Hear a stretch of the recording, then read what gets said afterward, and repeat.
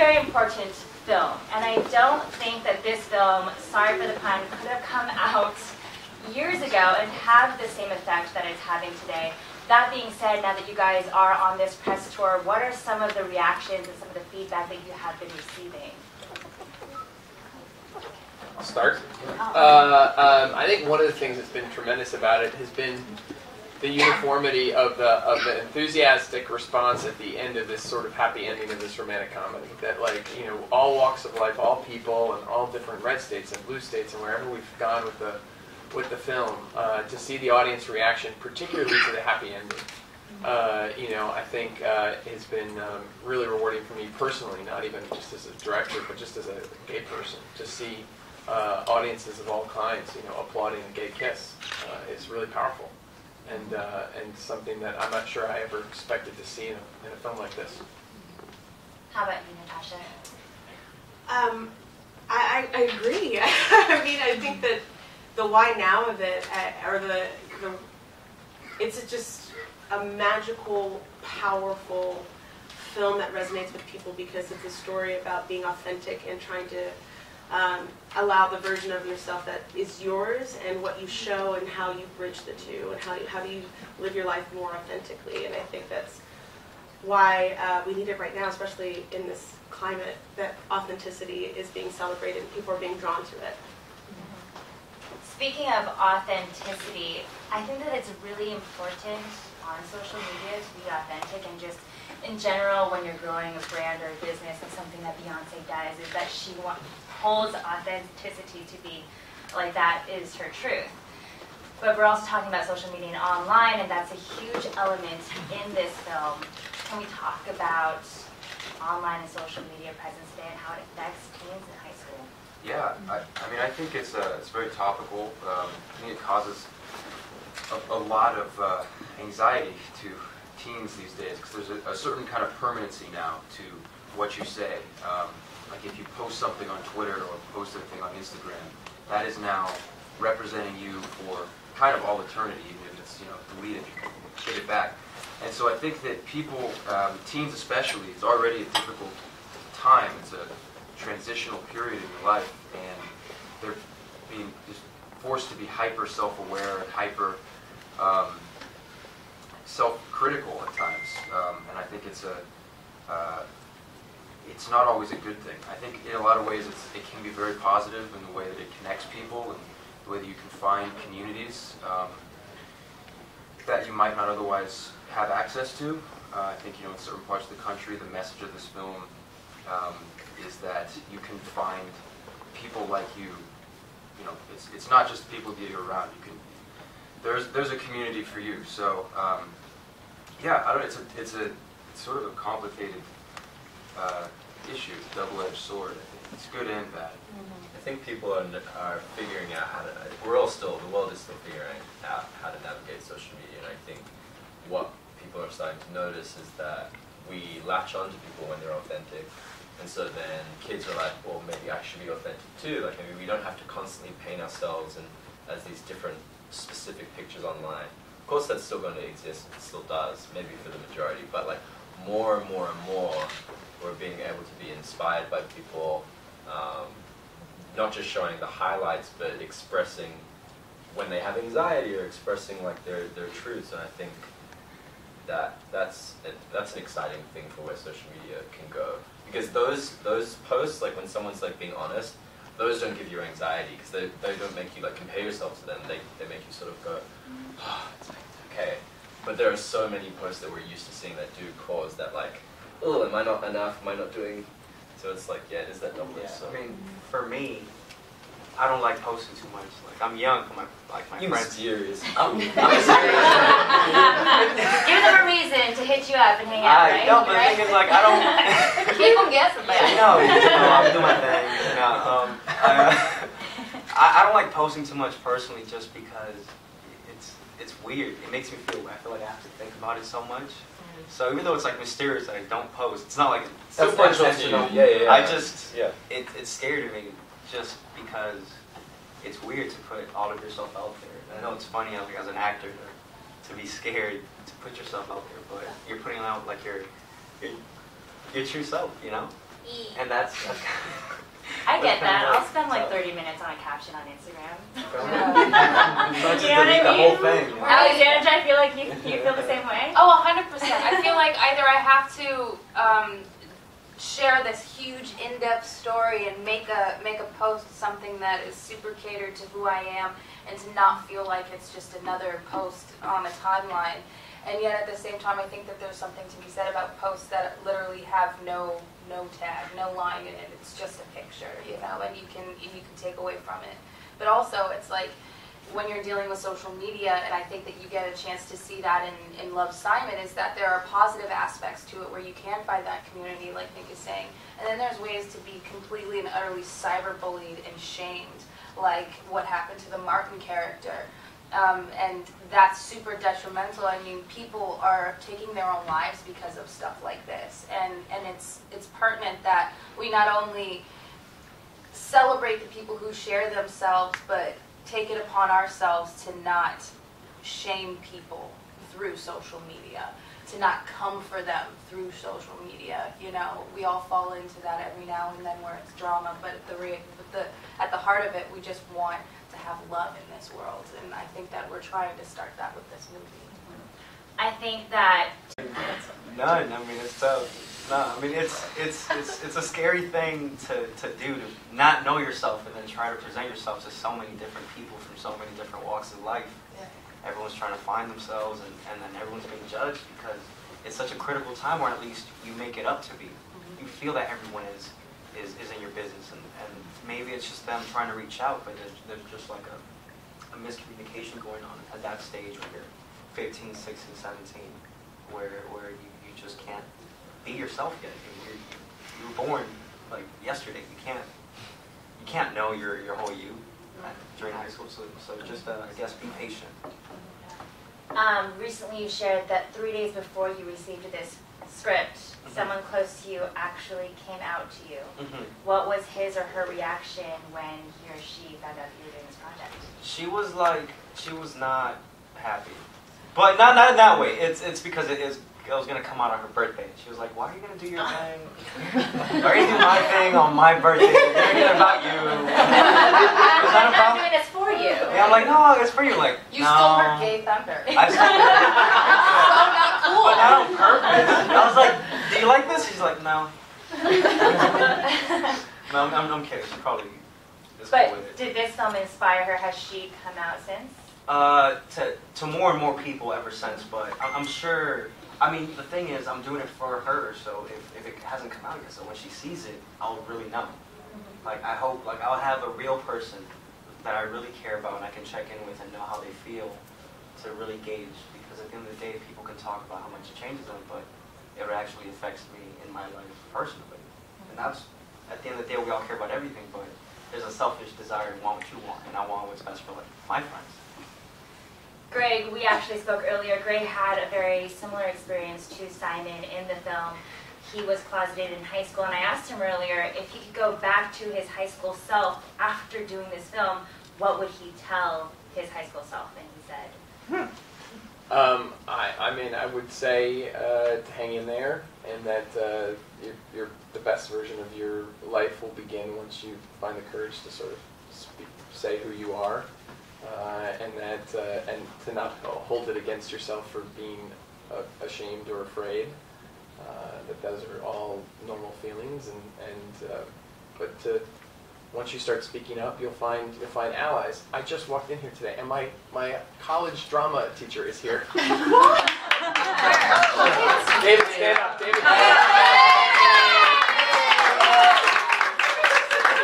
Are you so Hey, you guys, you have to know, I, there, he'll remember it. There was, uh, you know, he, he knew I was gay before I was ready to say it, and uh, was really wonderful about creating an atmosphere for me uh, when I wasn't ready to uh, to come out. Uh, but to, you know, I just think to let me know that I was still loved and cared for, and, and really made that known to me. And I remember very pivotal conversations that we've talked about since. So I love that you're here today.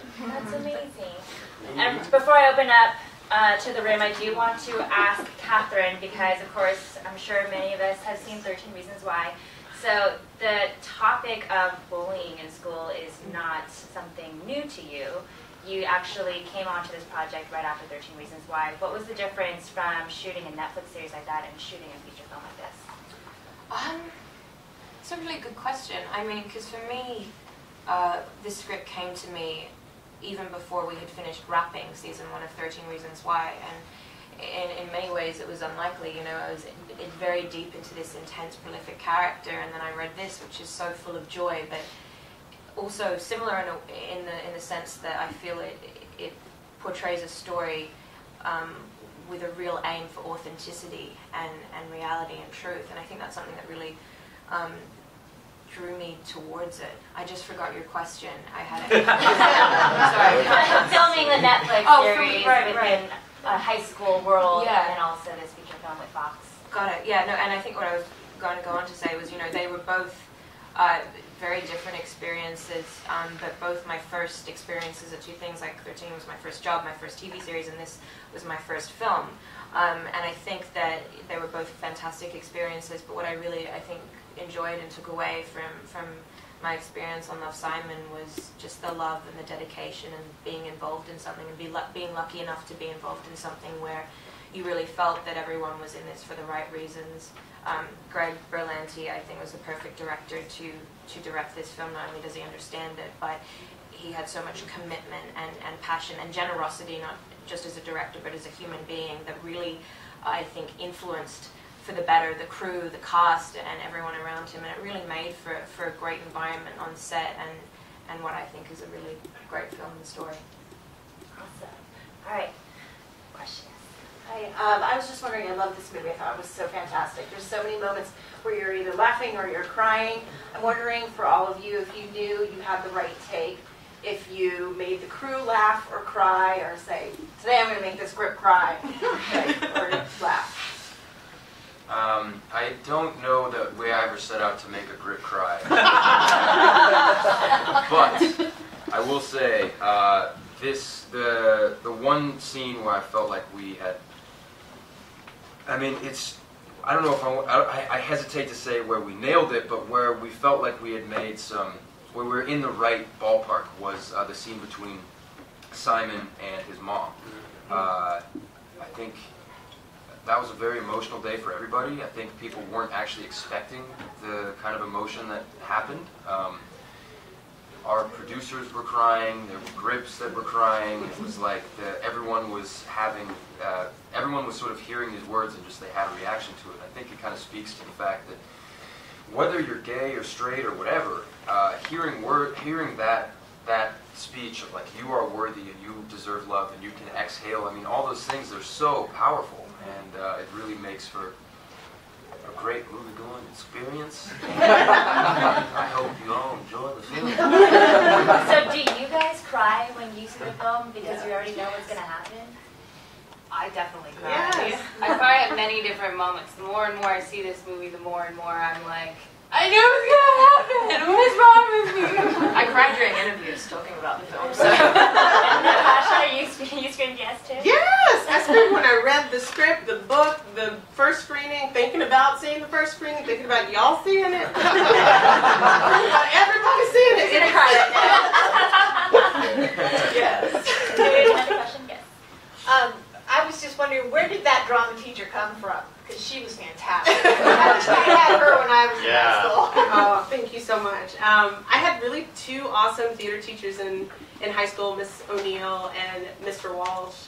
And um, in real life, I taught theater in the Bronx for four years. And so it's the Venn diagram of Miss Albright and the life I lived.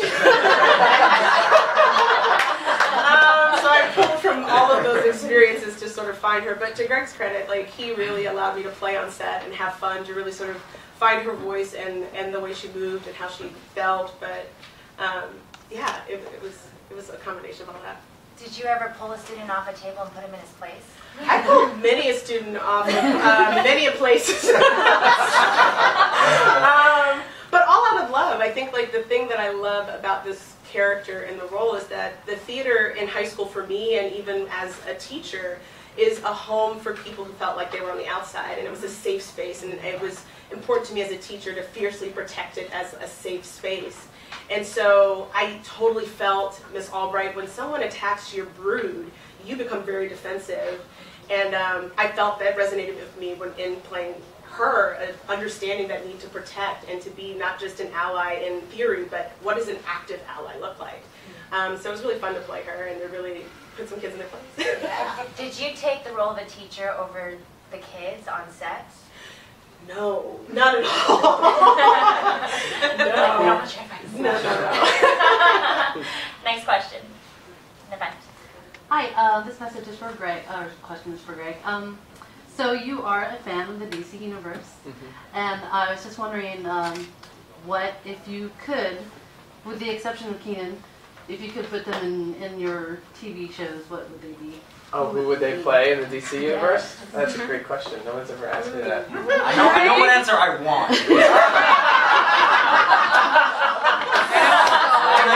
Oh, think of, think of, think of, I'm so excited. Please give me Oh my! I need to think about that. that, might- uh, uh, uh, um, uh, I think next Jimmy Olsen.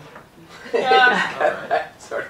Okay. I know you expected me to give you a superpower, all right. Just but yeah, but it's, uh, it's, got, it's got that sweet wholesomeness that Jimmy Olsen always uh, always had.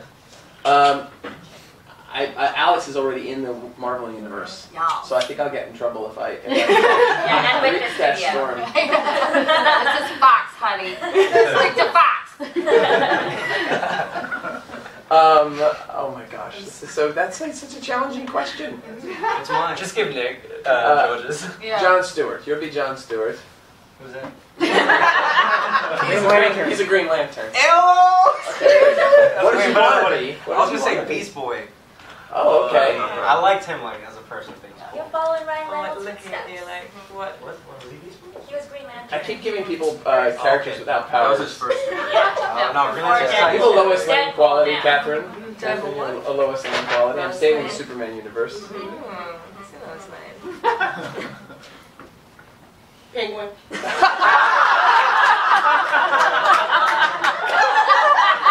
I sensed it. I sensed it. Catwoman. Count. All right. All right. Yes. I love it's a modern coming of age story, but the John Hughes uh, vibe was so there, and I really loved that because for us who grew up in the 80s. Um, but for the young actors, do you are you familiar with the John Hughes movie? Did you hear it? Did you see it in, in the story? Because it was so it's such a sweet. The John Hughes movies were so sweet natured that they took on some dark topics, and this was exactly like a John Hughes. Hopefully, that's a compliment. So for the young kids, were you familiar with the music and the topics and the coming of age stories from the 80s? Yeah. Yeah, uh, I think that speaks to John's power as a filmmaker too. Is the fact that we, I, I grew up watching them, and Greg grew up watching them, and I'm sure that the next generation will grow up watching them. And I think that this falls into that vein really well. Uh, Ferris Bueller's Day Off was like a, a big one for me. That was great. Watched all the time. Um, and so yeah, I, I think that's a great compliment. I hope that this movie is able to um, connect with young people in a way that you know maybe we haven't seen the in the recent years. In the back. One answer. Uh, I had a question for Greg. It's obviously going to be huge for high school kids now who are gay or questioning. But what would it have meant for you to have a movie like this when you were in high school? You know, um, I think about it a lot. I, I one, one thing I I'd say that I didn't realize until after we made the film, and, and it was that I probably would have been too scared to go to the movie. Um, I, I would have worried that people would have thought I was gay if they saw me there, or would I have gone to a neighboring theater. I think that there's probably going to still be kids today that are like, you know, don't want to tell their parent they're going, or afraid if they go with their parents, is it going to incite a conversation, you know?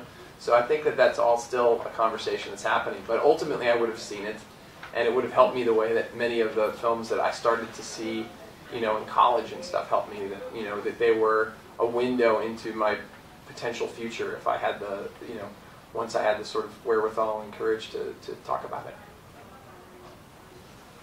Any other questions? Yes. I mean, I think it's uh, from a gay man of a certain age. You know, it really is. I tell you, um, I was I grew up in northern Wisconsin, in the middle of nowhere, 250 people in my hometown. One book changed my life, and um, I'm going to try not to cry about this. it's so significant to me. What was the book? It was called The Best Little Best Boy Little in the Boy in the World. World. Yeah, I read the same book when I was in the and it was completely by accident. Um, and it's so significant that this is a story about a first love.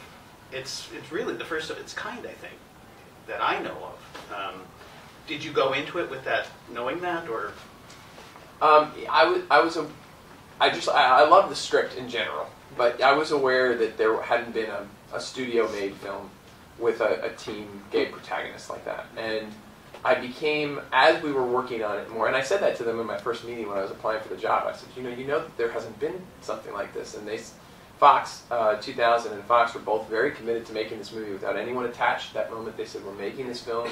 It, it enabled me to go out there and get great cast and get great crew because it wasn't a question mark of like, are they going to make it with the right elements? Like they were making this story. They knew it was a story that they uh, wanted to be told. But then something different started to happen when I was actually watching it up on its feet with the actors there. And not even necessarily on the day when we were shooting it, but I would go out on the weekends and watch cut footage to see if there was improvements I should make. And, and I started just crying watching certain scenes that weren't even the biggest emotional scenes. Uh, it was a real visceral kind of like a void that I didn't even know that needed to be filled was getting filled. And I wasn't sure if it was just me. Maybe I was like too close to it because I'm so generally hypercritic, critical and sick to my stomach after I see early stuff because you think, oh, I can't. I don't know how am I going to fix that thing. And I was having the opposite reaction, and I and um, so I brought my now husband, but then fiance in, and he started watching it with me, and he started bawling, and uh, and just off like regular family scenes, and, and I, it was just the simple power of representation, you know, just just uh, it wasn't uh, you know, and, and that that's it's a power in and of itself that you know that I, I wasn't even totally aware of, you know, and, and, and I obviously work in the business and do my part to try and make sure there's LGBT rep on our shows, and, but I still, I still, even at my age, with my uh, experience with all the stuff, I, I still needed that. We have time for one more question. Yes. Okay. Um, I- I'm, I'm sure it has screened a lot. It has screened a few times, right? What, what, what are some of the reactions you've been getting from people who have seen this movie?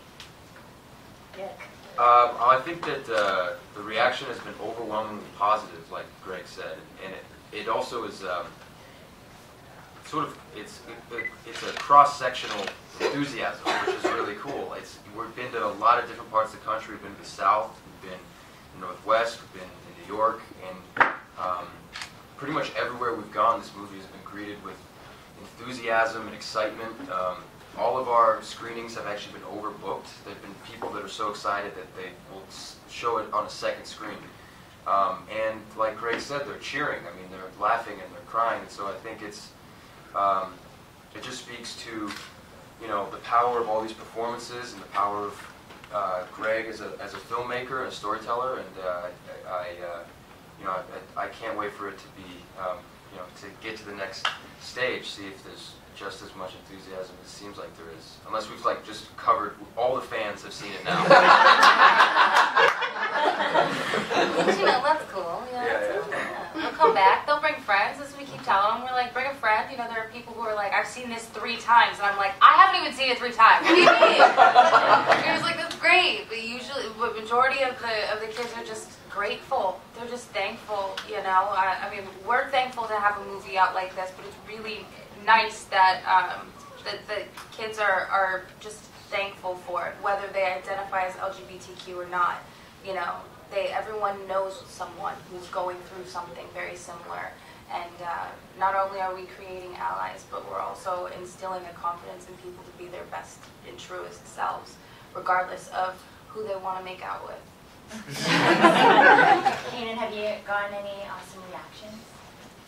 Yeah, I mean, I've seen, I've even uh, read things on Twitter about um, some guys like coming out from after seeing the pre-screenings and like, and also doing it in a way that is just like the poster or like, you know, and so I think it's, um, I think it's a testament to like like the performances and um, Greg's told this story in such a beautiful way. It feels real.